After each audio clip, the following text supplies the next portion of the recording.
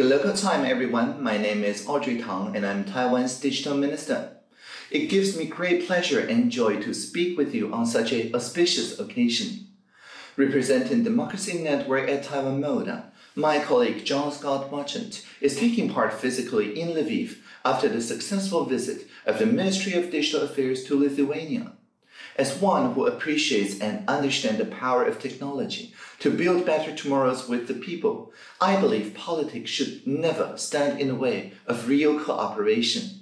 And this is why I signed on behalf of Taiwan the Declaration for the Future of the Internet alongside 60 partners, including the US and Ukraine, worldwide in April 2022.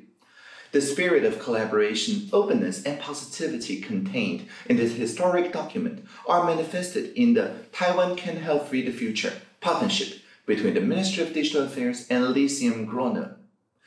As freedom and democracy loving people, the partnership represents all that is good in our societies and binds the people together. It's an exciting and borderless initiative promising to equip students and teachers with the ICT equipment and know-how to capitalize on an abundance of emerging opportunities in the global digital economy.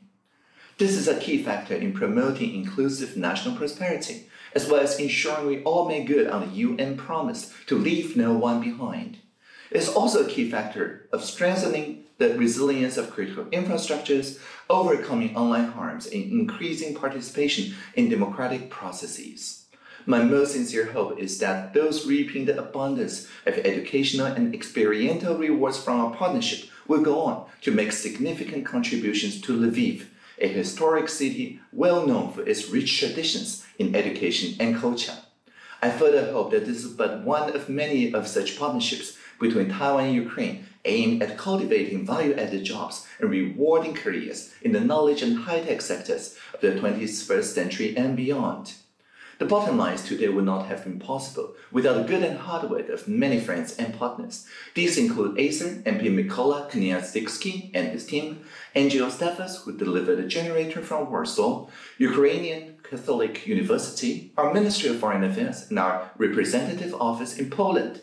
Thank you from the bottom of my heart. You are a credit to your countries and living proof that we are stronger together. The Taiwan Can Help Free the Future partnership represents a roadmap for bilateral relations. Grassroots success will build momentum, chipping away at entrenched opinions and moving mountains in the process. What was seemingly taboo yesterday can be rethought and changed tomorrow.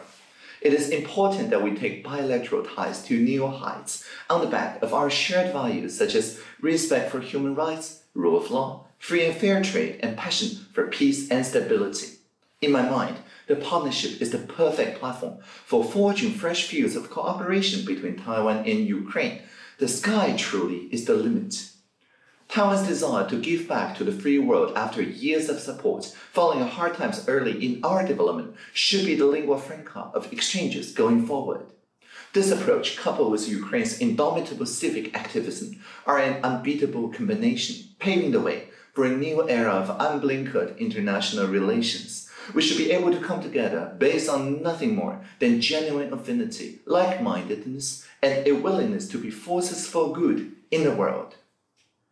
As such, I wish to extend an open invitation to Taiwan's partners in Ukraine to attend the Free Digital Democracy Dialogue in 2024. Planning is underway for what is expected to be a bigger event involving more participants from across the region dedicated to spurring education and innovation while safeguarding our free and open societies from those undermining democratic institutions. The F3D is another example of how Taiwan can help free the future together.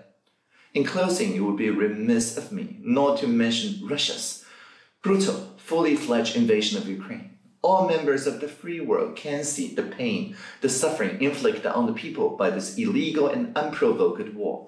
But such backing runs much deeper. Ukraine is an out and out inspiration. The resilience demonstrated by all segments of your society still the will of our people to be united for a better Taiwan. Taiwan and Ukraine are oceans apart but could not be closer at heart. Make no mistake, Taiwan stands with our natural partner Ukraine in your struggle against autocracy, and we will support the efforts to guarantee the victory of right over might. From little things, big things grow. Thank you for listening and live long and prosper.